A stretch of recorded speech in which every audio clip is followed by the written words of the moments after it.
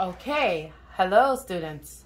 Remember, this is our final and third video for this Seaform sculptures that is inspired by Jay Asher's Message in a Bottle and Dale Chihuly's Seaforms, okay?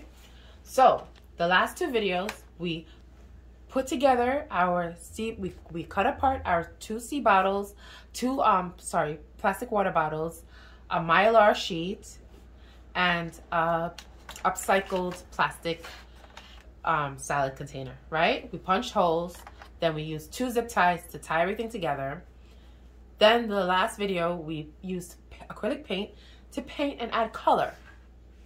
Now, before the paint had dried, you can either use glitter or sand and sprinkle just a little bit, just a little small little pinch or a little handful to just give it a little more texture and dimension and translucent look, okay? So I'm using a heat gun, which the teacher will go around with the heat gun because this is not for you. I'm allowing the heat gun to heat up. Sorry about the noise, guys.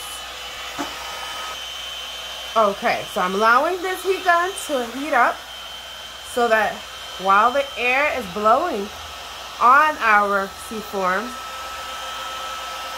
the bottle, see the bottle pieces are starting to, to melt. You can use your scissors, well, or the teacher can use the scissors and help to, you know, manipulate the direction of where and how these pieces are going to, you know, melt.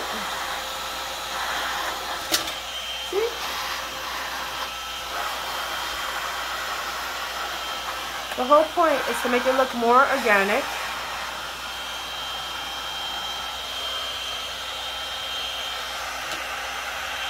And as you can see, this is really hot.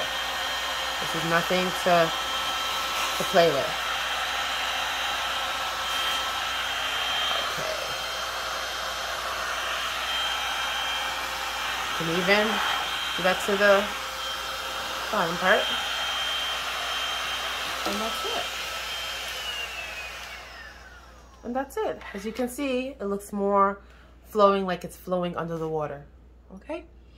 And that's it. This is your Seaforms. If you want, you can come in with spray paint, add a little more color, a little more um, iridescence or or more metallics. It's up to you. But other than that, if you have wood pieces or any that type of elements that you found or seashells, you can probably hot glue them towards the bottom or around, whatever. But this is it.